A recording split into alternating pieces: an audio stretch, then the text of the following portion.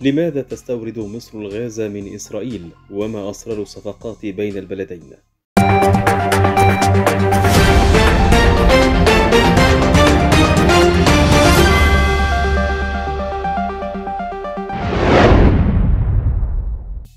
يبدو أن مسألة تصدير واستيراد الغاز الطبيعي بين مصر وإسرائيل لم ولن تنتهي، لا سيما أن مصر نجحت في التحول إلى مركز إقليمي لتبادل الطاقة، بأن إنفاقها مئات المليارات من الدولارات على تطوير البنية التحتية المتعلقة بشبكات الغاز، أو دفع مئات أخرى من مليارات الدولارات في الاستثمار بقطاع الطاقة.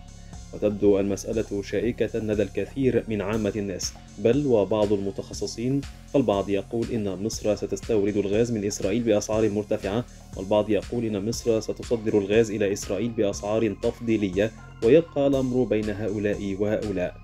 في عام 2018 تم توقيع اتفاقية لتوريد الغاز الطبيعي من إسرائيل إلى مصر، لكن ليس لغرض الاستخدام المحلي وإنما بغرض الإسالة وإعادة التصدير مرة أخرى إلى إسرائيل بأسعار أعلى نظرا لعمليات الإسالة التي نفذتها مصر في مخططها. ومنذ أيام أعلنت شركة شيفرون كورب الأمريكية وغيرها من الشركات التي تعمل في تطوير حقول الغاز الطبيعي في إسرائيل استثمار حوالي 235 مليون دولار في خطوط الأنابيب لتصدير الغاز إلى مصر.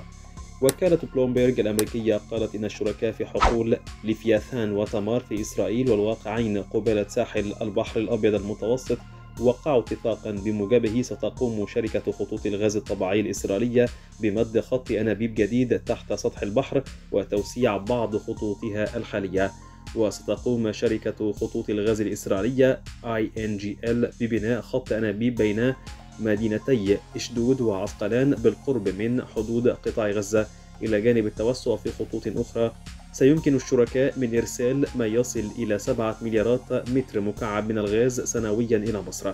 وتصل تكلفة الخط الجديد إلى حوالي 228 مليون دولار بينما تقدر أعمال التوسعة بنحو 8 ملايين و300 ألف دولار أخرى. ستدفع شركات الغاز 56% من تكلفة خط الأنابيب الجديد وتوفر ضمانات على التمويل فيما تتكفل شركة الغاز الإسرائيلية بتغطية باقي المبلغ. وسبق أن وافق الشركاء في الحقول الإسرائيلية على تصدير 44 مليار متر مكعب من الغاز إلى مصر على مدار ثمان سنوات على أن تبدأ التدفقات بين يوليو 2022 وأبريل 2023